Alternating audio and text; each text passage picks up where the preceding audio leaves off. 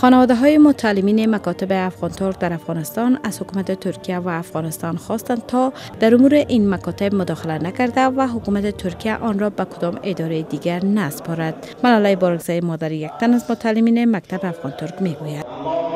ما امروز به خاطر اینجا جمع شدیم که نگذاریم که یک نهاد بسیار موفق و بسیار خوب تومه سیاست یا تومه یک بازی شوه که موضوع آگاهی نداریم که در پشت پرده چی گپ است و چی قرار است. از این خاطر ما از تمام کسایی که در این رستا کار می‌کنن و مربوط اونا میشن فیصله و تصمیم گیری از این نهاد بسیار موفق و عالی از اونا خواهش می‌کنم که در بر ما دل lebaran این در حال است که حکومت ترکیه در این اواخر تصمیم گرفته تا تمام امور مکاتب افغان ترک در افغانستان را به یک اداره دولتی آن کشور بسپارد. ترکیه این تصمیم را در حال گرفته است که حدود ده ماه قبل علیه حکومت موجوده ترکیه کودتای ناکام صورت گرفته و در آن ده تن کشته صدها تن زخمی و شمار زیاد دیگر روانه زندان شدند. حکومت ترکیه الله گولن را که تابعیت امریکا را دارد متهم به اجرای این کودتا کرده و گفت که تمام مکاتب افغان ترک در افغانستان